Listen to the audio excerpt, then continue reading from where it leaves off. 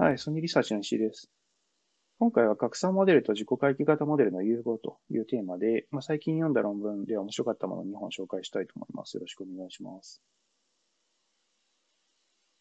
えっ、ー、と、最初に拡散モデルと自己回帰型モデルのおさらいということで、まあ、今回ちょっと重要となる離散表現と連続表現との相性という観点について少しおさらいしたいと思います。でその後1本目として自己回帰型モデル×拡散モデルということで、自己回帰型モデルの中に拡散モデルを組み込んで同時に使うという方法についてこちらの論文を紹介したいと思います。その後、自己回帰型モデル足す拡散モデルということで、データの種類に応じて拡散モデルと自己回帰型モデルを使い分ける方法について、こちらの論文を紹介したいと思います。で、えっと、同時期に発表されたこちらの論文についても、まあ、最後少し触れたいというふうに思います。で、えっと、今回生成モデルのお話をするんですけど、えっと、生成モデルでやりたいことというのは、そのデータが従う分布が、まあ、何かあったとして、この分布からデータをサンプリングするということを実現したいということです。なんですけど、まあ、この分布がとっても、まあ、高次元複雑なので、まあ、急にこれをモデル化することは難しいという問題があります。で、えっと、多くの生成モデルのアプローチでは、えっと、まず簡単な分布からデータをサンプリングして、この適当にサンプリングした潜在変数をデータに変換してくれるモデルを学習するというアプローチをとっています。でこれによって、まあ、複雑な分布からデータをサンプリングするというような処理を簡単な分布からサンプリングしてそれを変換するというふうに代替することができます。んですが問題が1個あって、えっと、このようにダイレクトに変換する、えっと、モデルを学習するというアプローチは、大規模化すると明らかに学習がどんどん大変になっていきます。なので、えっと、この生成処理を分割して、えっと、この部分ごとに学習するというアプローチが生まれました。このように分割することによって、まあ、一つ一つは、まあ、簡単なタスクなんだけど、えっと、つなげることによって最終的にこのような難しい変換を解くことができるとということを期待しています。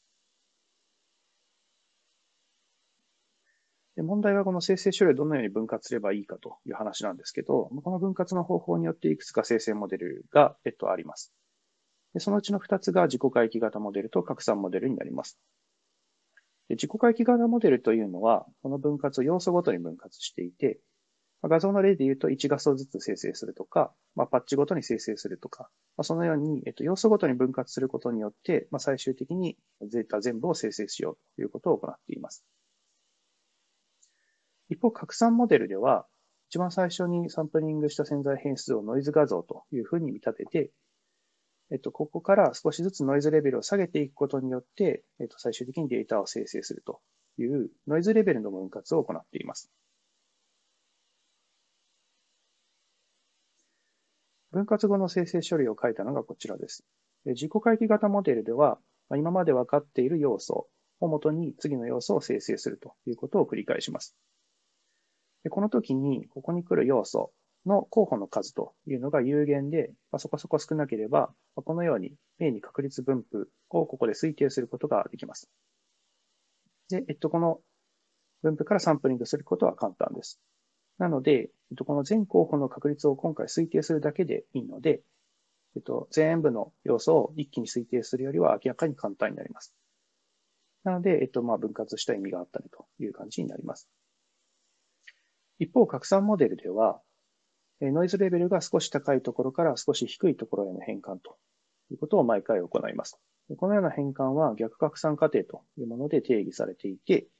ノイズを少し除去するというものに相当するわけですけど、この除去するノイズの量が少なければ、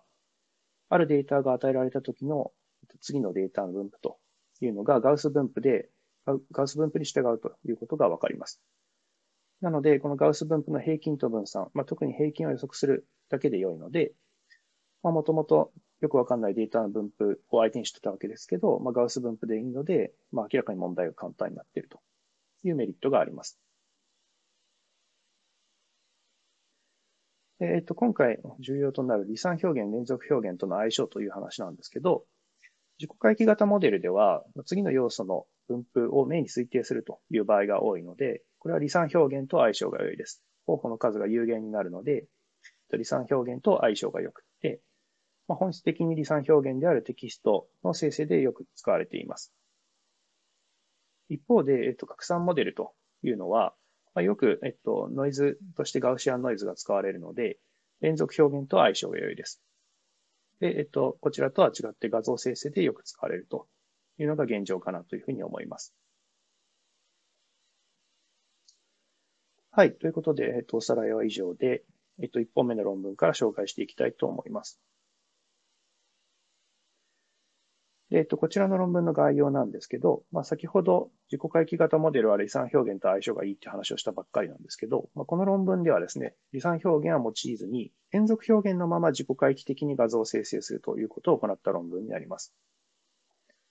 でどういうことかというと、まあ、一般的な自己回帰型モデルというのは、先ほど述べたように、まあ、決められた順番で1個ずつ生成しますと。で、この1個っていうのは離散的な表現になっていて、この離散化されたトークンの ID ですね、方法をサンプリングしていくことによって、えっとデータを生成していきます。一方で、今回の提案手法というのは、まず、この決められた順番ではなくて、ランダムな順番で、かつ複数同時に生成していいということを許容します。でこれによって高速な生成を行うことができます。でさらに、この一個一個の生成というのは、離散化されたトークンの ID をサンプリングしているのではなくて、実数値のトークンベクトル、実数のベクトルを直接サンプリングします。でこれによって何が嬉しいかというと、離散化表現、離散表現で発生するこの量子化誤差を回避することができて、まあ、これによって画像の品質の劣化を抑えて、まあ、この品質な画像を生成することができるというメリットがあります。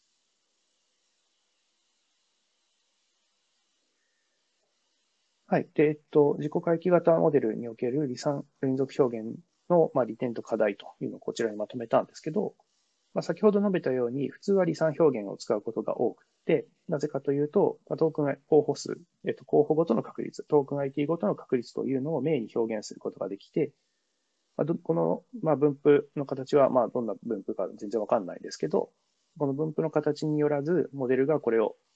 えっと、モデル化することができて、かつここからの、えっと、データのサンプリングというのが容易であるというメリットが非常に大きいからです。一方で問題もあって、えっと、画像の場合ですと、このような離散表現を得るために、量子化と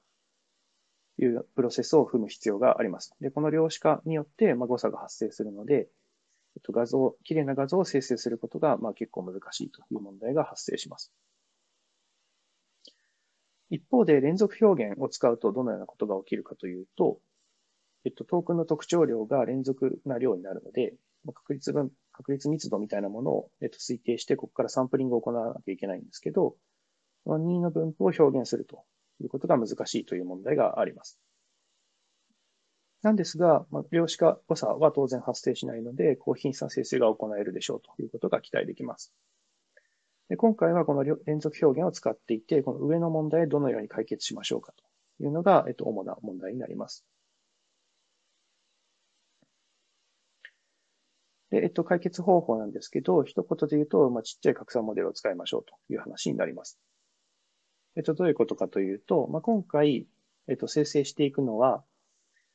えっと、離散的な確率分布ではなくて、特徴量の分布の情報が生まれ、埋め込まれた謎の特徴ベクトル Z というのを今回は毎回、えーと、推定します。モデルは推定します。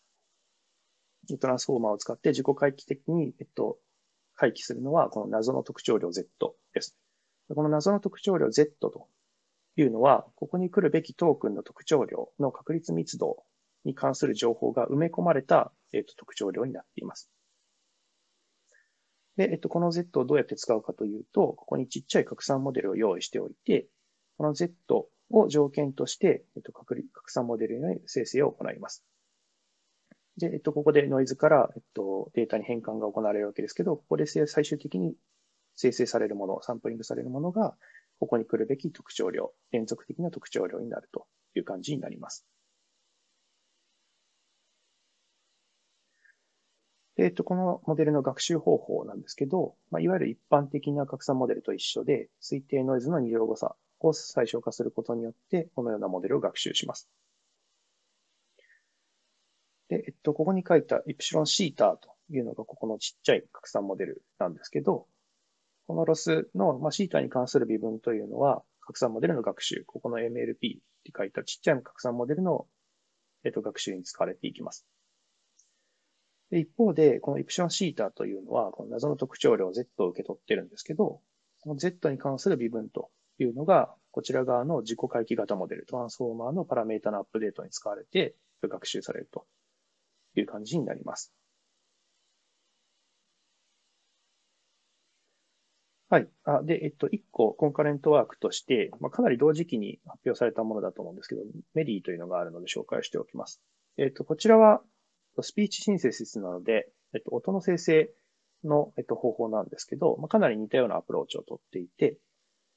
基本的には自己回帰型モデルなんですけど、連続表現を使った自己回帰型モデルになっていて、各トークンの生成でちっちゃい、えっと、生成モデルを使おうと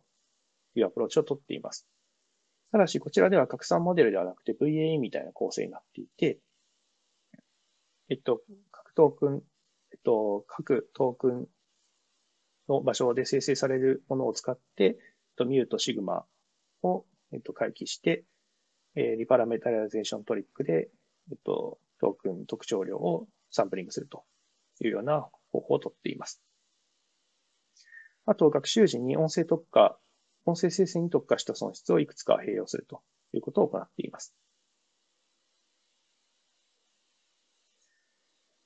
はい。で、えっと、もう一つこの論文で重要な話として、自己回帰の一般化ということを行っています。で、ここに紹介するのはアテンション取り方の話です。で自己回帰型モデルというのは、順番に生成していくということが重要なので、まあ、各トークンをどうやって生成するか、つまりモデル構造にどのようなモデルを採用するかというのは自由度があります。で、よく使われるのは、まあ、このようなコーザルアテンションと呼ばれる方法だと思うんですけど、えっ、と、ここでは1から5までが今サンプリングされていて、次6は生成したいんですけど、これ上から下にかけて、あの、モデルが何かを生成しています。で、えっと、コーザルアテンションでは自分より前の、えっと、トークンだけを見て、えっと、生成するというのを行うというのが、えっと、コーダルアテンションですね。なんですけど、まあ、自己回帰型モデルの性質で決まることは、まあ、この1から5をもとに、まあ、6を生成するっていうことだけなので、このアテンションの取り方というのは自由度があります。で一般的にはこのコーザルアテンションを使うんですけど、今回使っているのはバイディレクショナルアテンションと呼ばれるもので、えっと、1から5が入ってくると、別にこれコーザルアテンションではなくてフルアテンション、全部を取ります。で、途中か、まあ、まあ、最初でも途中でもいいんですけど、まあ、マスクトークンが入ってきて、また、えっと、フルアテンションを取って、最終的にこのマスクトークンの部分が、えっと、6になるように生成を行うという感じになります。で、えっと、両者のメリット、デメリットの話なんですけど、このコーザルアテンションを使うと、推論が効率的になります。KV キャッシュといって、まあ、前に生成した K と V を再利用するみたいなことはできるので、まあ、水流が効率的だったり、まあ、毎回ロスを取れたりとか、いろんなメリットがあります。ただ一方で、このバイディレクショナルアテンションの場合だと、えっと、このトークンが別のトークンすべてを見ることができるので、情報の集約が効率的というメリットがあります。で、今回はこちらの、えっと、バイディレクショナルアテンションの方を使っています。で、もう一個、えっと、重要な話として、えっと、今度は生成するトークンの、えっと、数と場所の話ですね。で、まあ、先ほど述べたように自己回帰型モデルでは順番に生成するということ自体が重要なので、この生成するトークンの数と場所に関してはもうちょっと自由に決めていいでしょうというのがここでの主張になります。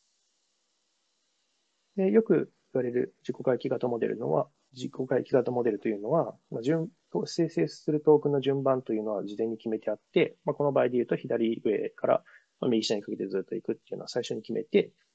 まあ、この順番で順番に生成していくとということを行うんですけど、まあ、これ別にランダムにしてもいいでしょっていうのがこれ。で、で、さらに、ランダムにした上で、一個一個生成するのではなくて、まあ、複数同時に並列に生成してもいいでしょっていうのがこちらになります。で、今回はこの Maxed AR と言われる一番下の方法をとっています。で、えっと、先ほど述べた通り、自己回帰型モデルの、えっと、性質で決まるのは、この紫を元に別のトークン、このオレンジというのを生成するということだけなので、このオレンジのトークンの場所と数は順に決めていいでしょうということで、普通は一つ固定順で決めるわけですけど、まあ、今回はランダムに複数と生成するという方法をとっています。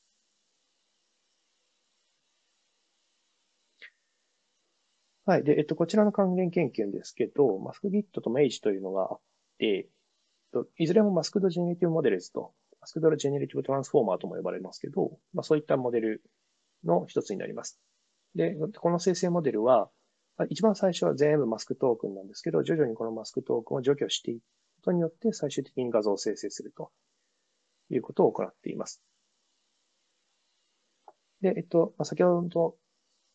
話ととってもよく似ていて、えっと、この灰色の部分をマスクトークンだと思えば、こちらの話ととってもよく似てるですけど、えっと、ち大きな違いが一つあって、マスクギットとメイジというのは、確信度の高い予測を優先してマスクを除去するということを行います。えっと、全マスクに対して次に来る、えー、トークンというのを全部予測して、まあ、自信のあるところからマスクを除去するみたいなことを行います。でそうすると、生成時のマスク分布というのは、まあ、要するにその確信度の低い、自信のない部分だけ残るとということになるので、学習時はランダムにマスクするんですけど、まあ、その時の、えっと、分布と乖離が起きます。なので、えっと、その乖離によって生成品質が下がるという問題が発生するんですけど、えっと、先ほど紹介したマスクド AR の方では完全にランダムな順番でマスクを除去していくので、このような問題を回避できるというメリットがあります。はい。で、えっと、手法は以上で、ここから実験の説明に移ります。学習データは ImageNet を使っていて、クラス条件付きの生成を行っています。画像の連続表現としては VQVAE や VQGAN の潜在変数を使っていて、あの、これはいわゆるサビ、えっ、と、一番最初の Stable Diffusion とかで使われていたものと同じです。で、もともと VQVAE とか VQGAN って離散表現なんですけど、一番最後の離散処理を行うか行わないかで離散表現と連続表現の切り替えを行っています。で、ハイパーパラメータはここに書いた通りですね。えっと、今回の手法というのは、まあ、二重ループがあって、一番外側のループでは自己回帰型モデルがぐるぐる回っていて、えっと、各トークの生成で、えっと、ちっちゃい拡散モデルがぐるぐる回るという方方になっているんですけど、まあ、各ステップスはまあこのように設定されています。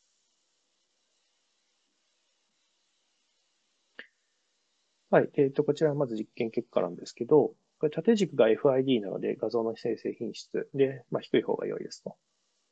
で横軸がインファレンスタイムで、まあ、計算コストなんですけど、えっと、当然低い方がいいので、まあ、左の方が良いですというグラフになっています。で、見ていただくと、まずこの赤い点というのがいわゆる一般的な自己回帰型モデル、離散表現を使った自己回帰型モデルになります。こちらに対して、自己回帰型モデルの一般化ですね。えっと、アテンションの取り方ですとか、生成するトークンの数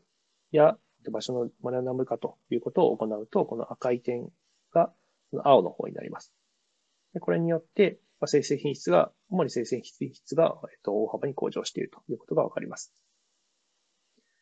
さらにこれに対して、と離散表現から連続表現を使うものに変更することによって、と離散過誤差に起因する、まあ、生成品質の劣化が回避できて、さらに生成品質が向上するということがわかります。一方で、この緑が一般的な拡散モデルなんですけど、拡散モデルと比べると、今回の提案手法というのは、大幅に計算コストが低くて、なぜかというと、生成初期ですね。生成初期というのは、分かっているトークンの数が少ないので、自己回帰型モデルというのは非常に高速に処理が行えます。一方で拡散モデルというのは毎回毎回、ノイズ付き画像全体を処理しなきゃいけないので、処理処理すべきトークンの数が多いです。なので、まあ、これに起因して、計算がまあ非常に高速化されているという感じになります。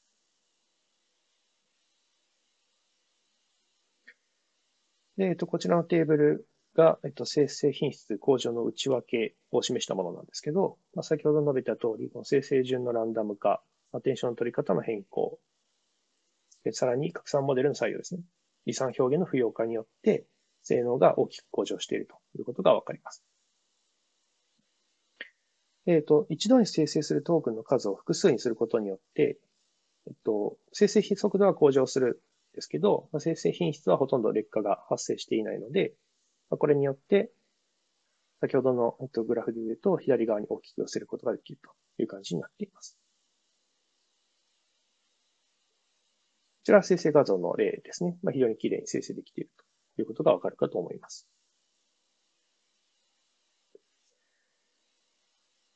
えっ、と、最後に他の生成モデルとの比較なんですけど、一般的な自己回帰型モデルや拡散モデルと比較しても良好な性能が得られています。特にこのクラスファイアフリーガイダンスを使わない場合でもかなり良い性能が得られています。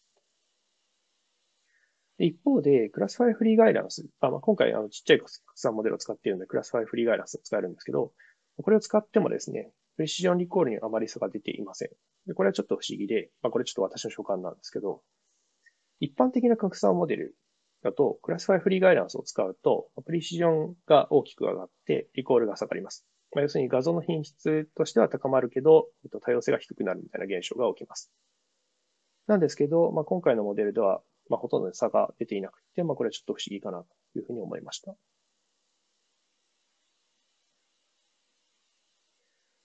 はい。で、最後まとめと所感なんですけど、まあ、今回の論文というのは連続表現のまま自己回帰的に画像を生成するというものでした。離散表現を用いないことによって離散化誤差を回避して生成を高品質化するということが行えています。えっと、所感なんですけど、アイディアはシンプルかつ効果的で拡張性も高くて素晴らしいかなというふうに思いました。ただ、えっと、実用上の速度の観点だと、拡散モデルを蒸留したものというのがよく最近は使われているので、まあ、ここら辺との比較があると面白いかなというふうに思います。でさらに今回は、まあ、 ImageNet クラスで、まあ、クラス条件付き生成という、まあ、限られた実験設定だったんですけど、まあ、これが、まあ、テキストというイメージとか、まあ、あるいは学習データの大規模化というのが、まあ、素直にできると、まあ、かなり熱いかなというふうに思います。